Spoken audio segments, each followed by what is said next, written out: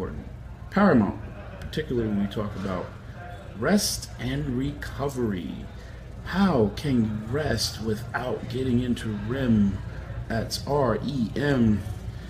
R E M sleep, rapid eye movement. Now, this is probably going back like maybe 15 years ago of reading for me, but um, off the top of my head, I imagine that it is in this state of REM sleep where there's a host of beneficial hormonal releases that occur. Um, I believe your anterior pituitary gland and the drivers of your heart, your endocrine system um, that have a positive impact on uh, muscle growth, cellular recovery, um, and reparation are done most in in that state. So um, REM sleep very very important. In order to get there, you need to be able to you know to unwind, turn your body off, and rest. So rest is very very very important, critical when we start talking about recovery and your body's ability to cellularly repair.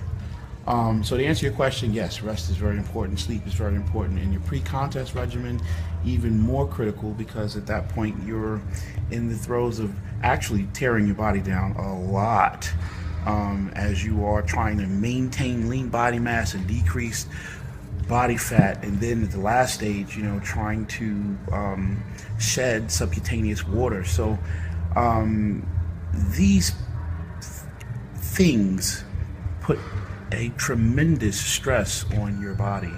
And um, because of the stress in itself, um, it's going to be that much more important to recover. Um, so yes, rest is very important. Sleep is very important your pre-contest prep. Also, the ability to use foods more efficiently um, to for your body to be able to extract um, uh, the nutrients and things that are, you know, that are being sought after um, by eating in the first place. The metabolic process. I remember I had a um, an old friend, coach of mine, used to always talk about the metabolic process um, that is, you know, enhanced by sleep. Um, even now, you know, um, as an athlete, when in the trenches of competition, you know, George would come to my room. That is George Farah. Shout out to George Farah. Um, would come to my room and say, "Okay, listen, man, I told you to eat this meal, and I need you to get in the bed. I need you to lay down. I need you to lay down. I need you to get. You need to be resting. You need to be resting.